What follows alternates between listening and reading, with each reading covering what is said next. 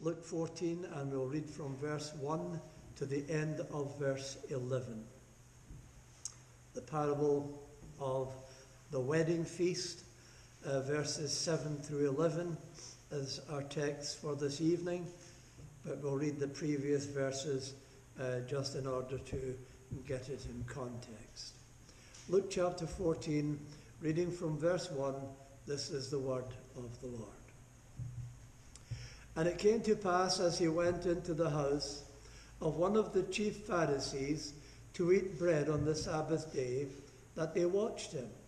And behold, there was a certain man before him which had the dropsy. That's a, some kind of a disease that, you know, bloats the body. Uh, and Jesus answering spake unto the lawyers and Pharisees, saying, Is it lawful to heal on the Sabbath day? And they held their peace, and he took him and healed him and let him go.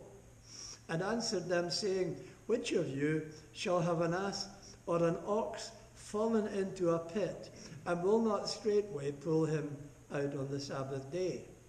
And they could not answer him again to these things. And he put forth a parable to those which were bidden, when he marked how they chose out the chief rooms, saying unto them, When thou art bidden of any man to a wedding, sit not down in the highest room, lest a more honourable man than thou be bidden of him. And he that bade thee and him come and say to thee, Give this man place, and thou begin with shame to take the lowest room. But when thou art bidden, go and sit down in the lowest room, that when he that bade thee cometh, he may say unto thee, Friend, go up higher.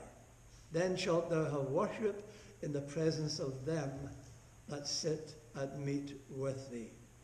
For whosoever exalteth himself shall be abased, and he that humbleth himself shall be exalted. The Lord bless that reading of His holy word to us this evening. The way up is down. The way up. The way up to God, the way up to heaven, the way to righteousness, the way to the kingdom of God, the way up is first of all down. The humility of faith. We, um, just for your encouragement, before that we, we look at this parable for a few moments. Some of us were preaching in uh, Nottingham on Monday, and um, a gentleman came to me. He addressed me by my first name. I didn't recognize him. Apparently, we had met some years ago, um, but I, I did not recognize him. I have, for, for a good number of years, uh, I put together um, testimony, my own testimony that I put on cassette tape and now I have on CDs. And I've given out hundreds and hundreds of them over the years. And I've often sat at home and I've pondered, I wondered, you know, have any of them ever, ever actually done any good? Well, on Monday, this man, Mike, his name is, if you'd like to pray for him, uh, he came to me on Monday and he said that I had given not in Nottingham, but in Stoke-on-Trent where I live, I had given a lady friend of his one of these cassette tapes. I showed you how long ago it was. And uh, she had passed it on to him. And he had kept it for years, uh, never listened to it. Um, but she passed away quite recently, uh, whereupon he took up the cassette tape and he listened to it, and the Lord blessed it to him. And now he's a believer also. So it's, you know, just um, we saw the seed. Uh, we don't always speak to people, you know, and um, we testify to them, um, and we just don't know what, you know, the Lord will do with it. Maybe after many, many days, you know, that, that word, you know, that your, your bread, you, you sow the seed and the bread comes back to you after many, after many days. Well, so it was on this occasion. Uh, we, have agreed to meet and have coffee together, and uh, we'll see. Uh, just um, he's attending a church, and so um, we'll see um, just exactly how the Lord's dealt with him. So, you know, just keep sowing the seed, testifying to the Lord's grace and love. And uh, who knows what the Lord will do with it. Yeah? Don't give up. So, just for a few minutes tonight, let's look at this parable. Uh, these Jews, uh, Pharisees and scribes and so on, uh, they were always vying for the most prominent place, you know, whether it was a feast or anywhere else, uh, just as it is here. They have, you might say, elevated opinions of themselves. That, of course, does not behove someone who is a member of God's kingdom. And that's certainly not the way to get into God's kingdom either. Um, uh, Jesus, uh, let's be clear from the, the start, Jesus is not teaching us good table manners here. That would be a social gospel. It's the gospel itself, it's the good news of salvation that, that is being proclaimed here. Uh, Jesus is looking, he's not looking for an outward show of humility. Uh, the Pharisees and scribes, the Jews, were very good at that too. It's the humility that God is looking for. It's the principle of life that belongs to members of the kingdom of God. It's an inner spiritual grace given to us, worked in us by God in regeneration when we're born again. Um, the Lord, by His Spirit, awakens us to the reality of our sinfulness, and we're, we're not shown it all because, well, we just couldn't cope with that. It would crush us uh, beyond belief.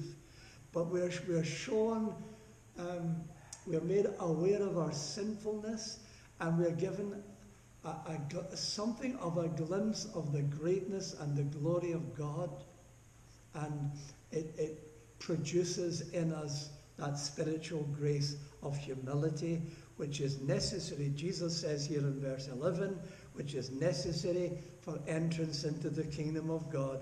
For whosoever exalteth himself shall be abased, shall be brought down, and he that humbleth himself in the humility of faith, bound before King Jesus, he, she shall be exalted. So it is vital for entry into the kingdom of God. Pride and humility are opposites. They're like oil and water, they don't mix. But the motive, notice, will you, the motive of these uh, Pharisees and scribes inviting Jesus, verse 1 It came to pass as he went into the house of one of the chief Pharisees to eat bread on the Sabbath day that they watched him. Their motive in inviting him on this Sabbath day, think about a Sabbath day of the Lord, and this is their evil business.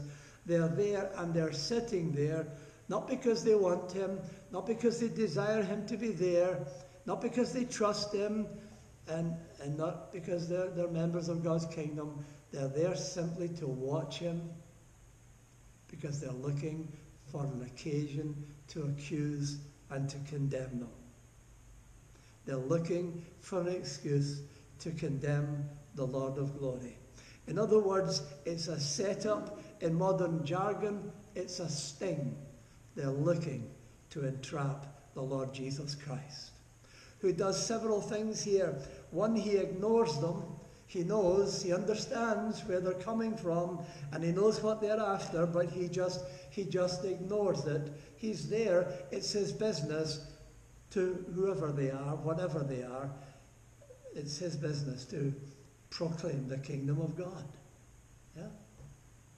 Another thing he does, in spite of, in spite of what they're thinking, in spite of the accusations that they're going to make against him, he heals this man who has this terrible, this terrible affliction, this terrible disease. He heals them, and in doing so, he does something else. He exposes their sin. And that's well, that's what Jesus does. First of all, you see, before we can come to know Him and love and adore Him, before we can enter into God's kingdom, this is something that God must do for us, in us. He must expose our sin because we don't know it, you know? We can, we can live the most wretched lives, the most degenerate lives, and still think, you know, I mean, it's amazing. You get a, a, a prolific drunkard or a drug addict, you know, and you speak to them about their sin and, and you know, what's wrong with me? You know, I, am okay, you know. They, they don't, men just don't see it. Nobody sees it. God has to reveal it to us. And Jesus is exposing, he's not just here for the man with the dropsy, eh, he's here for the Pharisees and scribes too, and he's here for you too. To expose your sin. Yeah. So that you can see it. So not to hurt, not to harm, but so that you can get rid of it. And, and, and get sat down at the wedding feast in the right place. Yeah? These Jews, you know, not just the Pharisees, the scribes, all of them, you know, they, they gave the appearance of being holy and humble. Appearance, appearance, you know, religious clothes. I mean, that's the problem with them, isn't it? Whether it be a, a man or a woman with the clerical collars, he called them, or a Muslim, you know, with the long robes and their, their hijabs, or whatever they call them, you know. And people look at them and they think, oh, they must be very devout, very holy people, like, you know. These men have the, these people have the appearance of being holy and of being humble, but inside, inside in their hearts lies the cancer, this cancer of pride. Because that's what it is. It's a cancer, it's a disease, and it's in all of us. Because as King David says in Psalm 51, we're all of us, we're conceived in sin, we're born in sin, we're shapen in iniquity, we come into the world rooted with this pride in us that has to be demolished, has to be dealt with. It's the root of all sin. It's the sin that brought Satan and a host of angels down. It's manifest in those who refuse to own their true state and condition before God. It's manifest in the man or woman who simply says, No, thank you. On the street, no, thank you. I don't need that. Yeah? It's manifest in those who say, No, I'm not a sinner. I have never sinned. I've done nothing wrong. It's manifest in all humanity. So, the way up is down under that title, the ruin, the ruin of pride that is, the humility required, and then the reward and punishment. In relation to our fellow man, well, we see it, don't we? We see it amongst those people. Perhaps you don't walk in those domains, but you know, you see it in those who boast of their riches, you know. Uh, some of them no longer, I mean, in days past, we used to talk about uh, with some awe, we used to talk about millionaires. Now it's billionaires, you know, and, and their billions are just never enough. But what do their billions? I mean, Jesus tells us that it's very hard, not impossible, but it's hard for a rich man to enter into the kingdom of God. Because what do the riches do? Well, they think they've gotten them by their own power, you know? And, and of course, it makes them very arrogant, doesn't it? It makes them very proud, it makes them very arrogant. You know, it might be, it might be monetary, you know, or it might be talents, it might be, you know, intellectual gifts. They're so clever, you know, and, and they look down upon the rest of humanity with utter disdain, you know, or position of power in authority and government, maybe, you know, um, and with a contemptuous gaze an attitude of pride, they look down with utter disdain upon creatures who are, well, they, de- they deem to be lower than themselves. We see it, don't we, in those who are, you know, ruthless in, in their bid for power. You know, they maybe are in a place of power, but enough is just never enough whether it's riches, you know, whether it's talents, whether it's position, whether it's power. Enough is just never enough. They want more and more. They're never satisfied. And of course, those in power, of course, are, are utterly and absolutely ruthless with it. They'll stamp upon, they'll step on anybody to get up higher, to get more power, more authority. This ruin, this, this ruinous pride is utterly huge. I mean, when you think of the opposite, you think of the child of the kingdom, the child of God, who walks in the humility of faith. I mean, what does what would modern psychiatry uh, think of, of such as them? You know, they would diagnose them as, as being mentally deficient, you know, poor, or they've, they've, got, a, they've got a crippling self image, you know, and, and, and they would declare such to be dysfunctional. I mean, it, it just isn't, isn't the, the, the way of the world. Um, um, you know, in, in well, you, you find it in the absolute sense, of course, the, of the unbeliever. But it's the prime mover for all other sins. It opens the way of transgression and evil. Pride, man's pride, his fallen nature. And of course, um, you know, uh, when you're dealing when you're dealing with the world, if you're looking for a job, the world's attitude is blow yourself up. You know, you're, you're making a, a CV, you know, you sell yourself, sell yourself. But that's not the way of the kingdom member. We know what we are before God. But of course, we have to remember that this pride is still present in us, in the children of God too. It resides, it still resides in our flesh. We're fighting it all the time. In Romans 7 and verse 18, Paul says, For I know that in me, that is in my flesh, dwelleth no good thing. For to will is present with me, but how to perform that which is good I find not. Paul, don't get putting that on your CV, you'll never get the job. Yeah. But, beloved, that's, that, that's you and I. That's ourselves. It's a major factor in our lives to the end. In fact, I, I, I think I read it from one of the Puritans. He said it's the, la- it's the very last sin to go. As we're laying in the grave, finally and fully, that pride falls away. And then you see it even, we see it even, you know, in, in, in theological terms, you know, those who think themselves able to help God to attain their salvation you know, in Roman Catholic theology, Arminianism, in other words, you know, yes, Jesus is good, uh, but you have to add to what Jesus is and what Jesus did, you have to add your good works as well.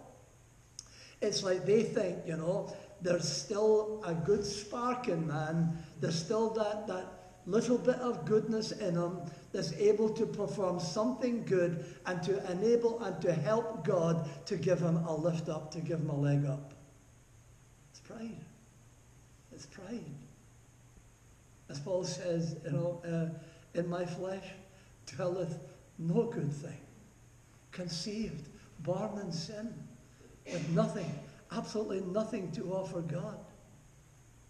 And the new, the new obedience is given to us in our believing lives is, is, only, is only just a small beginning.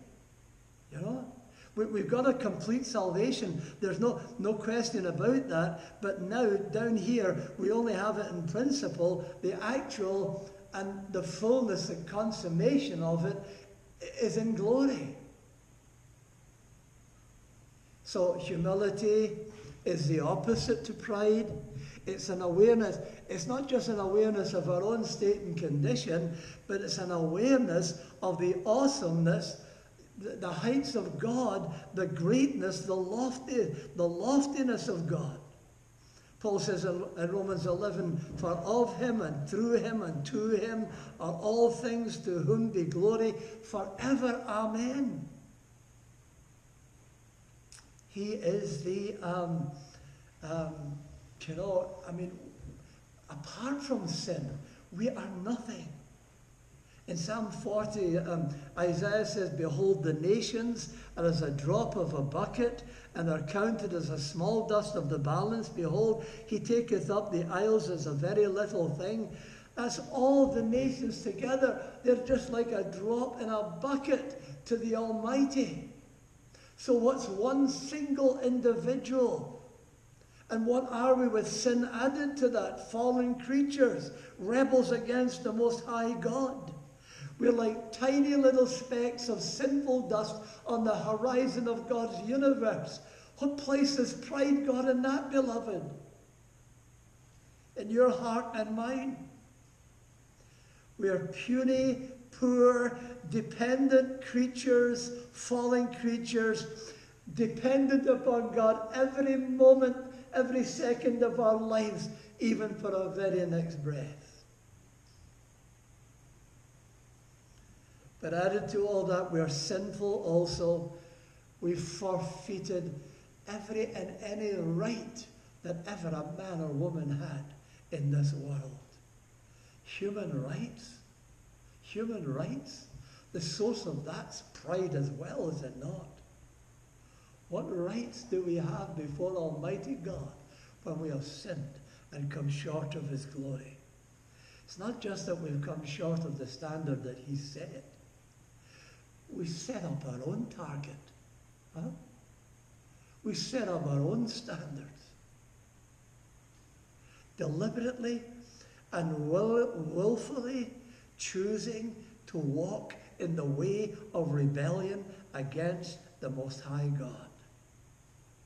And worthy and entitled, the only right that we have as fallen sinful creatures, the only right that we have is to eternal death.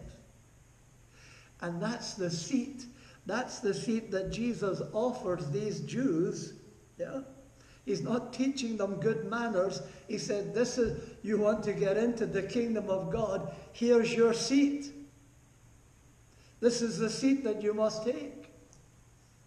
And he says, likewise to you this evening, if you would enter God's kingdom, this is your place, this is your seat, the lowest place, the lowest place. Truth be known, um, we don't even deserve a place. We don't even deserve an invite to the banquet. But we are being invited. But the place is the lowest seat, not the highest. Because we don't even deserve to be at the banquet. Never mind have a seat in the place.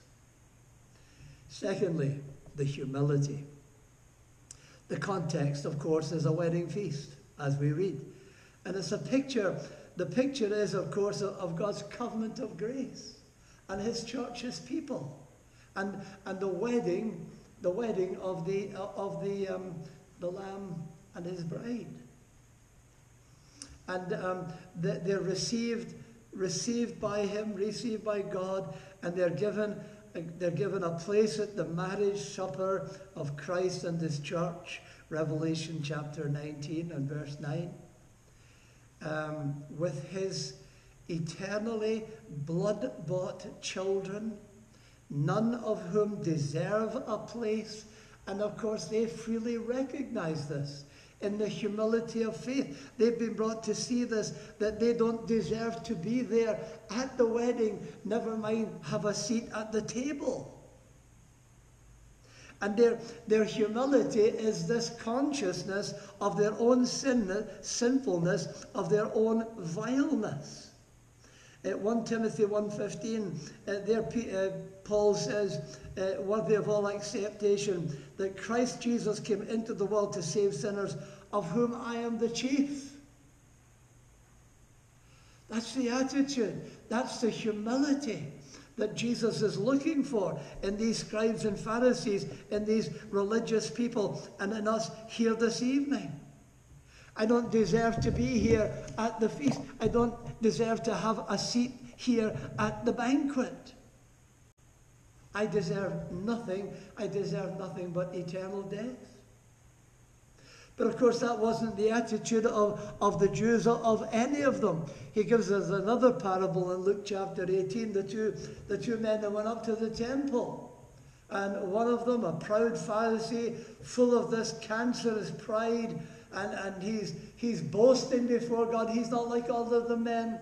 He doesn't cheat people in the marketplace. He doesn't do the adultery. He doesn't do the uncleanness. He keeps God's law to the nth degree. He is so diligent in his religiosity and he's so proud of it. But the other man won't even lift his eyes up to heaven but beats his breast and, and, and cries, God, be merciful to me, a sinner. Jesus asks a question of them Which of these two do you think went home just? Justified before God, that is. You see, the humility of faith, the child of God who's been abased by God, by the grace of God, that is, by the kindness of God, is totally amazed to find himself a guest at all. And that will be, that will be his or her place in, in, in the, in the full consummate kingdom of God. When, when, when they enter e- eternal glory and, and, and some you know, maybe some, some angel comes up to him and, and says to them, What are you, what are you doing? On what grounds are, are you here? And, they will answer, I don't know. I don't know. I, I don't deserve to be here. I'm amazed that I am here. I closed my eyes in death, and here I am in the kingdom of God with His glory. It, it's Him, Him pointing to Jesus. He told me I could come. Because this child of God looks around him in the world and he sees, he sees many, many thousands. I see it day after day, beloved. When I'm preaching on the streets, there's people walking past me, and, and, and I'm, I'm thinking, why me? Why not all of them? I see all these people excluded, and, and some of them, I, I have to be honest, some of them are they're better people than I am, than I'll ever be. And so the child of God finds himself at the wedding feast, not because of him or herself, because they know that they're, they're righteous, their righteousnesses are as filthy rags, they're corrupt and they're depraved. But again, of course, they don't put that on their CV. They wouldn't get the job, would they? But it's the, the mystery, you know? The mystery of the gospel. Because, you know, they, they acknowledge, I, I wasn't even looking for him. I mean, I, I can testify to that. 36 years of age, I was when I was saved 43 years ago. And, and I, I wasn't looking for him. It was he that came to me. You see, the gift, the grace, that's what the word grace means, gift. The wages of sin is death, but the gift, the grace, the free grace of God is in Christ Jesus our Lord. And it comes to us as a result of Him humbling Himself. That's how it can be offered to you tonight. That's how you can be invited to the feast tonight. Because He's made the way possible. Philippians 2, verse 5 Let this mind be in you, which was also in Christ Jesus, humbling himself to the point of death. 2 Corinthians 8, 9 For ye know the grace of our Lord Jesus Christ, that though he was rich, rich beyond anything, anything this world knows. Yet for your sakes he became poor, that ye through his poverty might be made rich. That is, that you might be exalted.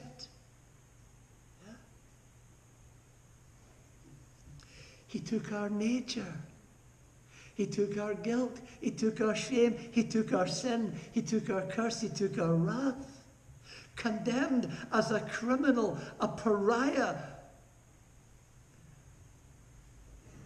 The humility, the humility of faith is rooted in his work, in what, what he has done for us, and rooted in his work of regenerating us are being born again, the Spirit of God working in us this grace of humility in our hearts. And so that thereafter we walk by faith in the humility of faith with Jesus as our pattern for, for walking in humility. In John 13, he says, and if I then, your Lord and Master, have washed your feet, ye also ought to wash one another's feet. For I have given you an example that ye should do as I have done to you. Verily, verily, I say unto you, the servant is not greater than his Lord, neither he that is sent greater than he that sent him. If ye know these things, happy are ye if ye do them. And again, Philippians 2 and verse 5. Beloved in Christ, that there is no place for a hierarchy amongst us in the church. There is no place for pride.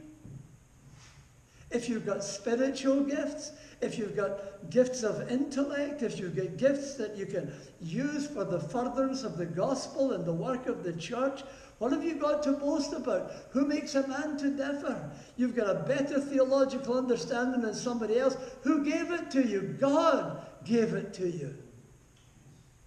No place. No place for pride in the kingdom of God. There's no seat there at the banquet for such pride. But then, thirdly and finally, the reward and punishment. Verse 11 For whosoever exalteth him shall be abased, and he that humbleth himself shall be exalted. The Pharisees, they claimed to have a high place in the house of God. But the truth was the very opposite. They were excluded. They had an elevated self opinion, an elevated self confidence. And Jesus says in another place, He says that harlots and publicans, tax collectors, they're more, more noble than you. They'll enter into the kingdom of God and they'll sit down in the kingdom with Abraham and you'll be cast out. I saw, I saw a, a, an experience of that. You know, I was preaching in America just um, just a couple of months ago, and we were preaching at uh, at Yale, that famous university, the one that Jonathan Edwards attended many years ago. It's somewhat different now. But we, when we were in, in Yale, we, we preached in two places. We preached at the university, where we were met with nothing but arrogance and disdain uh, people looking at us with just utter disgust, like we just crawled out from under their feet. And then we went down to the bus stop where all the poor people hang out, the homeless people, and you know, we couldn't give enough Bibles away, we couldn't give enough New Testaments away. Ah, we just couldn't stop talking to people about Jesus. The same pride, the same arrogance, the same disdain. But because of the Christ, because of Christ, because of the cross, proud is pride is, is, is a disgrace. And in us, beloved, before we can enter the kingdom of God, it has to go, it has to be, we have to be humbled, we have to be abased. I mean, think, think of Peter, you know, his pride. You know, he, boast, he, he boasted to the Lord, you know, he says, I, I want for these, all these guys, they might forsake you, he said, but, but me, never. He had to come down. He was so full of himself, self confidence, pride, the same pride. Glorying in his own power, his own strength. Pride, the proverb says, goes before a fall. How we need to pray, beloved, the Lord enable us to walk in this humility of faith. Lord, remove any blindness from me. Cause me to, to know myself. I, I think, as John Calvin says, that, that self knowledge is a prerequisite to knowing the Lord, to knowing God. Knowing ourselves, knowing what we are in reality, not, not, not that self elevated opinion, but knowing ourselves as God sees us, conceived and born in sin. The wicked, they exalt themselves. And time and time again, God, we, we see it. You know, God, God brings them down. Sometimes He brings them in and gives them over to, to deeper and more sin until they're th- thoroughly and utterly abased. Times we see it in society, you know, when men are exalted, you know, and um, and they use their power, they use their gifts, intellect and monetary and all the rest of it, They use it in the service of Satan, in the service of sin, and we think, we think that they've gotten away with it.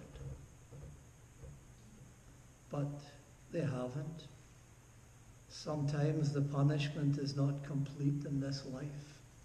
They're not brought to an end of themselves, and they're not brought to see that they have no right to a seat at the table of the Lord.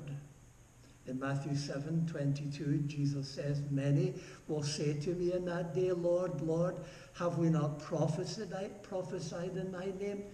Oh Lord, I, I've done these wonderful things.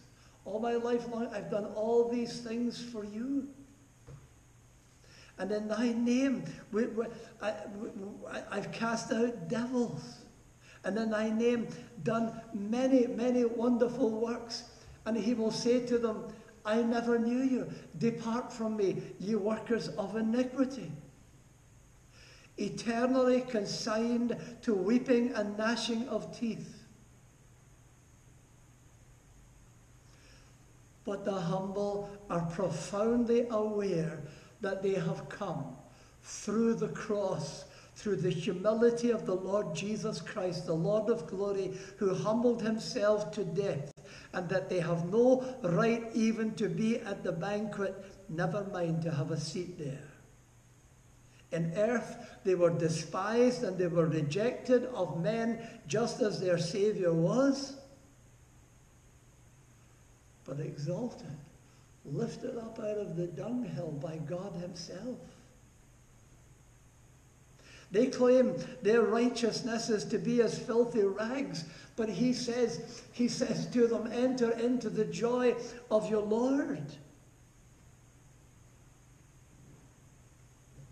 Exaltation, one day to be exalted before all those who despised and hated and rejected them in this world their faith derided and mocked, treated as the offscouring of society, even chased out of the world, murdered and slaughtered even by, even by religious men who think they're doing God a favor. I heard the report last, last Sunday afternoon, a, a bragging, a boasting, uh, declaration by Islamic State in northern Nigeria, how that they had slaughtered 190 Christians in the space of two months, June and July. And they cry, Allah Akbar, great is God. They think they do that in God's name.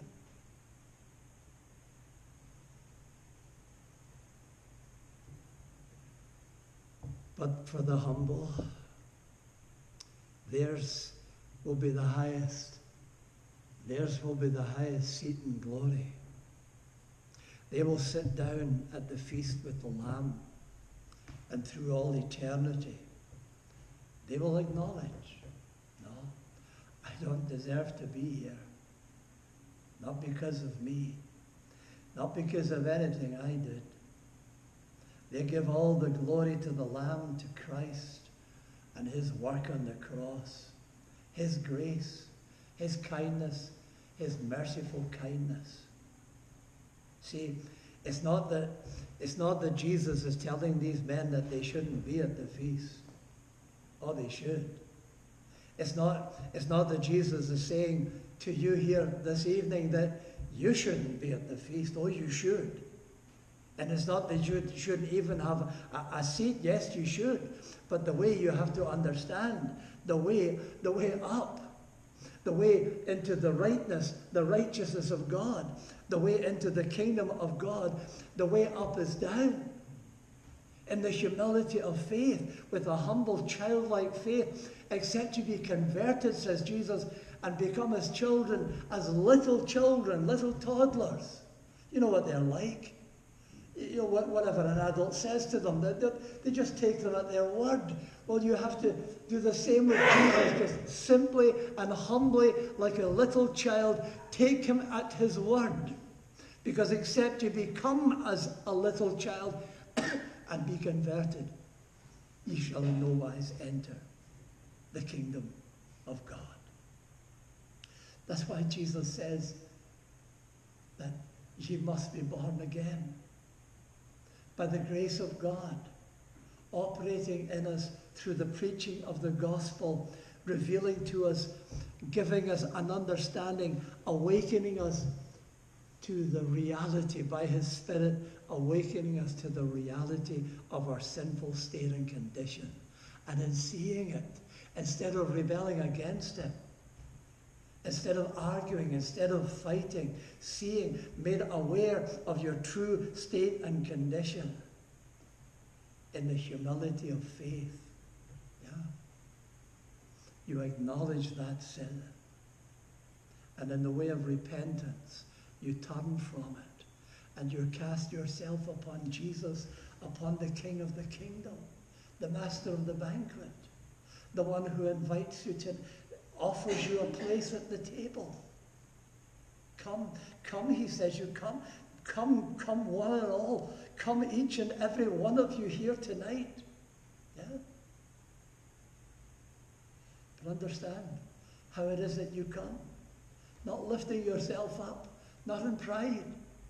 You come in the way that childlike humility of faith, trusting no longer in yourself, anything in you, or anything you have. Nothing in my hand I bring, Lord Jesus Christ.